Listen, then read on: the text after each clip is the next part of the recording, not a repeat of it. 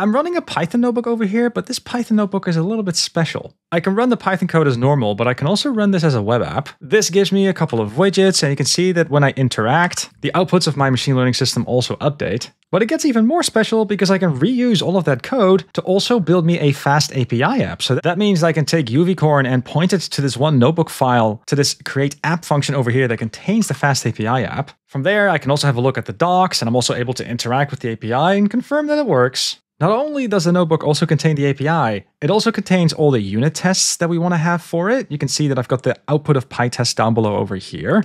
Alternatively, what I can also do is I can point PyTest to this one notebook file. And that's super useful because it means you can also run this notebook as part of your CI pipeline, so that's also great. And as a final cherry on top, you know, this notebook is saved as a Python file, so I can also run it as a normal Python script. And that means I can also really just use this as a command line utility as well. Super neat, and there's your output.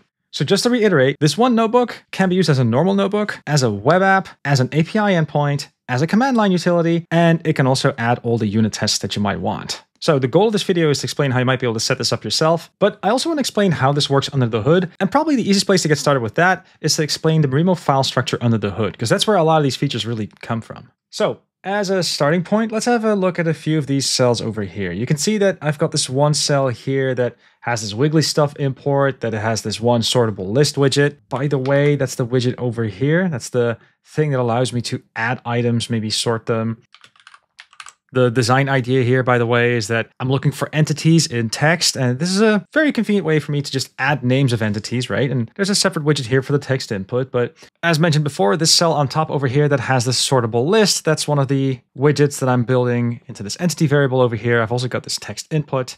And then in the cell below, I just have those user interface elements uh, kind of just stacked on top of each other over here with some markdown. And then I've also got the output of the machine learning model. That's this out variable over here. Uh, that's all listed below. But the code itself is not necessarily too important. The main thing that I want to observe is just that we have those two cells, and you could wonder how that's represented in the underlying file. And that would look a little bit like this. A Marimo notebook is just a Python file in the end, and cells are just functions with a decorator on top. These functions are a little bit special in the way that they are designed though, and one thing that's really important to just keep in the back of your mind is that you would never edit this file manually, you would have Marimo do that for you, but there are some clever design aspects to this. For example, if I have a look at that one cell that is using all those user interface elements, then you can see again, we've got the text input here, and we've got the entities. And again, those were widgets that I defined in this other cell on top. But you're going to notice that this function does have text input and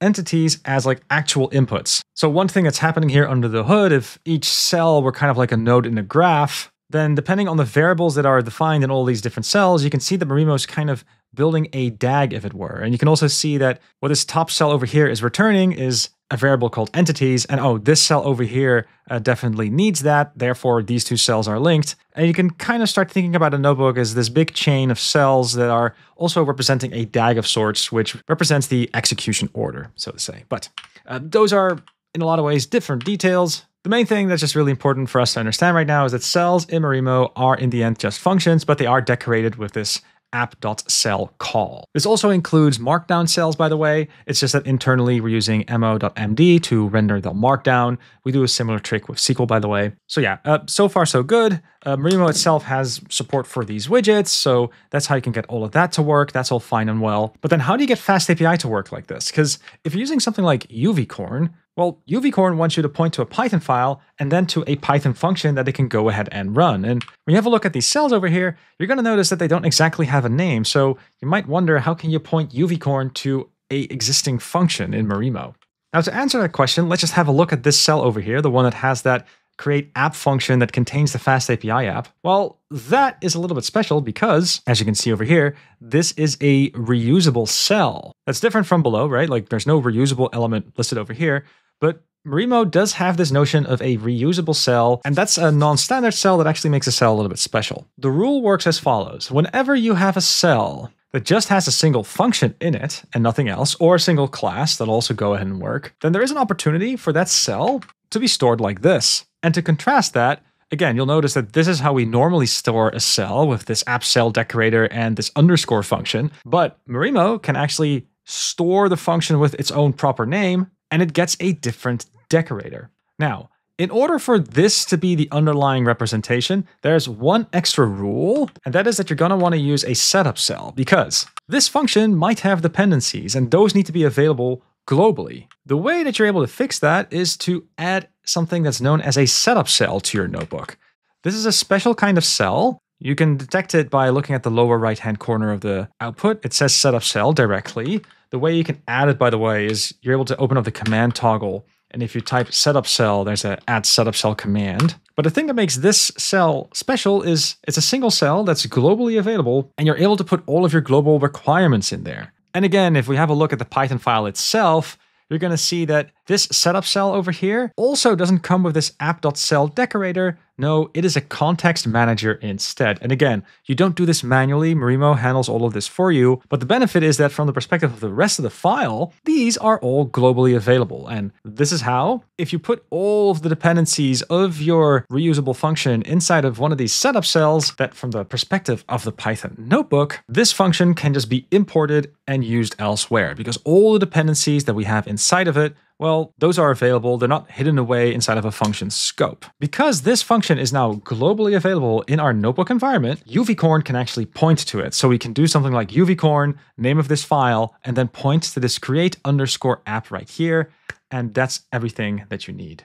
The next big feature that I showed was all related to PyTest, and that integration doesn't really require special features as far as the Python file is concerned. Just to emphasize, we've got those two cells that I started with, right? So import PyTest, and I've got this test client from FastAPI that I'm using here, and that's all being used all over the place in uh, the files that I declared. But the PyTest integration relies more on a convention than anything specific to the Python language. So it's just a convention that if you have a single cell that has all these functions with test underscore, that then Marimo is clever enough on how to actually route that to PyTest if it's being run from the command line. And again, if we inspect the file that's uh, underneath all of this, uh, this is the cell that just creates the PyTest import and that client. And then this cell, again, is really just a normal Marimo cell. It is, again, more of a convention, I suppose, than something that's really hard coded, something that really affects the code itself here. But the main thing that is important is that all of this is pretty much self contained. You don't need a separate file you really can keep everything in one single file, which also means it's easy to share with a colleague. And one other quick feature that I do think is worth mentioning, um, we also have some really great UV features. Again, because this is a Python script, we can add a little bit of this commented metadata on top. And this is something that UV can use to understand, hey, what version of Python should I be using? And also, what dependency should I be using, preferably with a version number attached. And in this case, you can see PyTest definitely is a dependency.